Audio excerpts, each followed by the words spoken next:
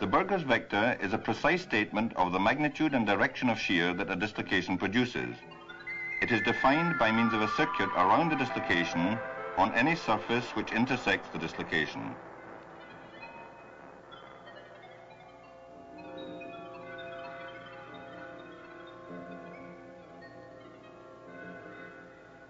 The Burgers vector of an edge dislocation is normal to the dislocation.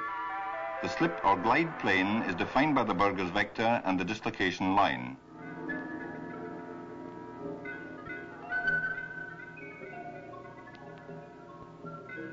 The Burgers circuit lies on one twist of the screw or helicoid. The Burgers vector of the screw dislocation is the pitch of the screw and is thus parallel to the dislocation line.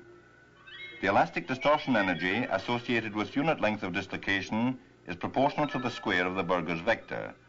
The screw dislocation may have either a left hand or a right hand twist.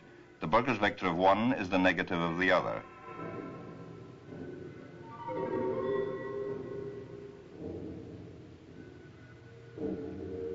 The Burgers vector is normal to an edge but parallel to a screw dislocation.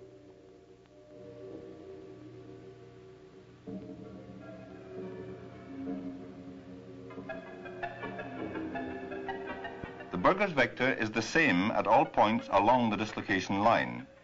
The dislocation is in edge orientation when normal to the Burgers vector and in screw orientation when parallel to it.